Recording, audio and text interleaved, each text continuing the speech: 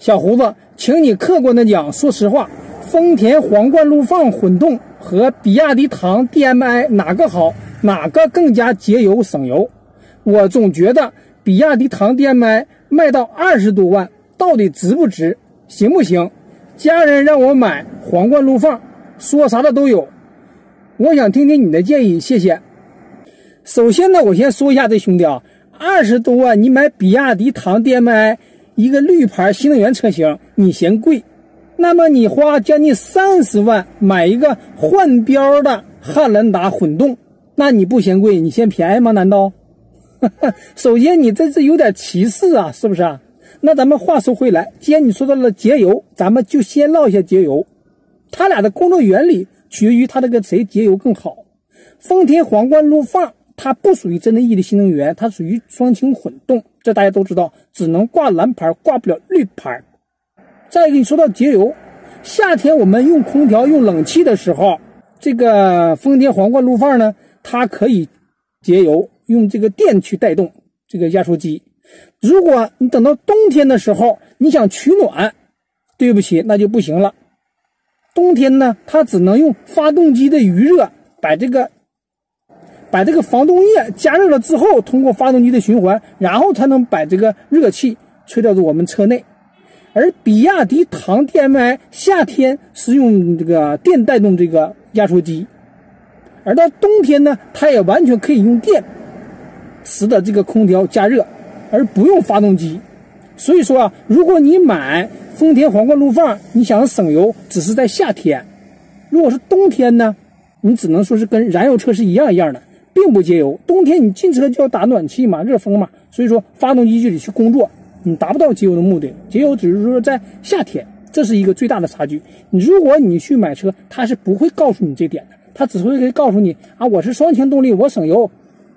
它这个丰田皇冠陆放开起来的时候，起步的时候它是非常节油的，是用电驱动。等到中速的时候也会用电，一度速度等到中高速的时候，它会用发动机和电一起驱动了，发动机就启动了。如果在高速巡航跑高速的话，完全基本上就是用发动机去工作，也达不到一个节油的目的。所以说你在市里走走停停。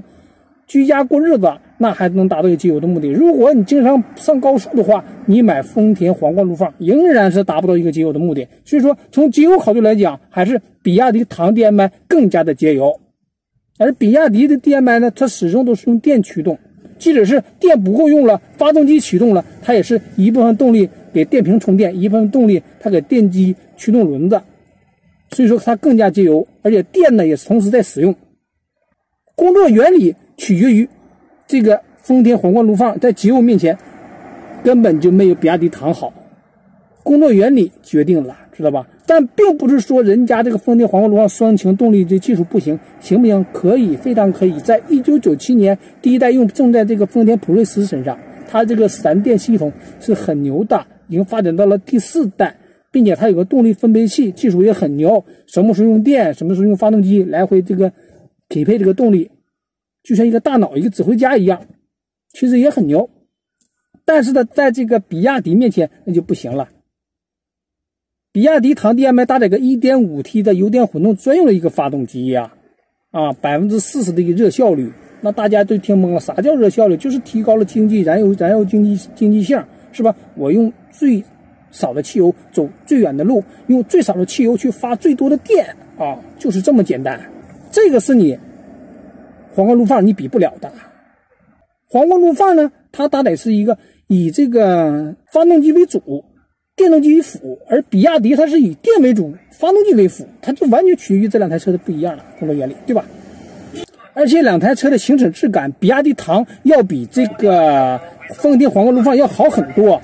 当你发动机没启动的时候，哎，你感觉挺爽的。你发动机一启动，你这个丰田皇冠陆放就是一个汉兰达了，非常不好。而且比亚迪唐全程都是感觉那么好，并并且人机互动这一块更加智能、更加快速，辅助驾驶这一块也不是你这个丰田皇冠陆放能比得了的。所以说，从行驶质感、节油各个方面都要比你好。你唯一皇冠陆放能压过比亚迪唐的，就是你的价位卖的太高了。